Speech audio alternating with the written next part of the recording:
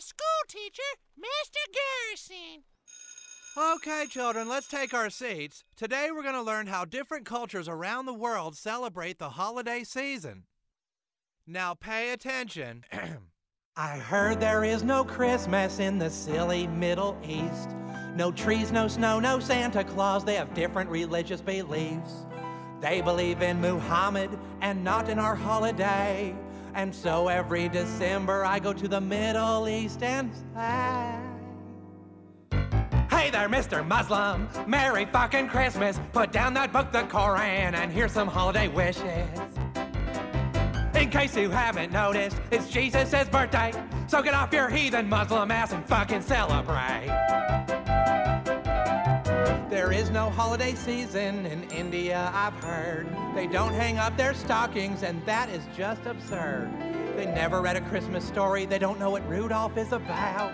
And that is why in December I'll go to India and shout. Hey there, Mr. Hinduist. Merry fucking Christmas. Drink eggnog and eat some beef and pass it to the missus.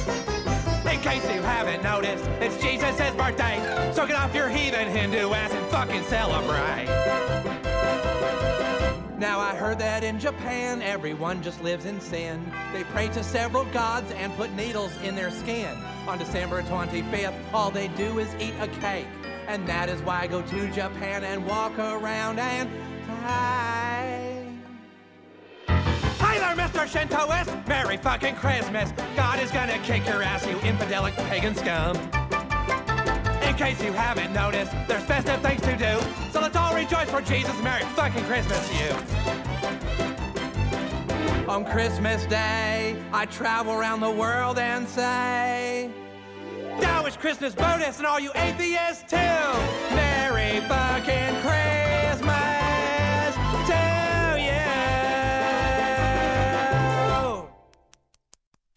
Thank you, Mr. Hat.